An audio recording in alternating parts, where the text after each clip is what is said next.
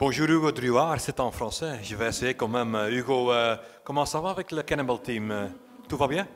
Pour le moment, tout se passe très bien et j'ai hâte de voir la suite.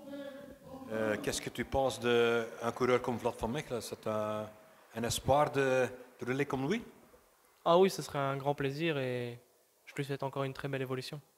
Comment s'était passé que tu passes par ici, par le Cannibal Team? Euh, bah, depuis tout petit, j'ai fait plusieurs clubs. J'ai fait euh, un club français du côté de Valenciennes. Puis j'ai fait mes premières années euh, en aspirant euh, du côté de, du club Perouet-Bury. J'ai fait euh, d'abord Crabé Toiture. Et maintenant, bah, je vais essayer de goûter au niveau international, au niveau des courses.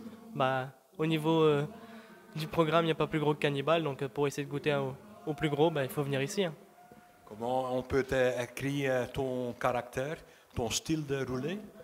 Euh, ben, pff, je dirais que je, je peux passer partout, mais bon, il faut s'en donner les moyens euh, de travailler pour passer partout. Et euh, j'espère donner au maximum avec le mental et au travail. Travailler. Dans quelle course tu vas exploser Tu vas gagner ou tu vas essayer de gagner?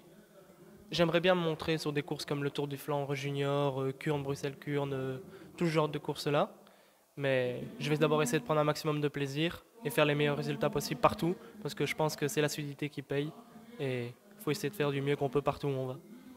Vous n'êtes pas vraiment costaud, pas grand? Comme ça, je pense que vous êtes vraiment bien dans les montagnes?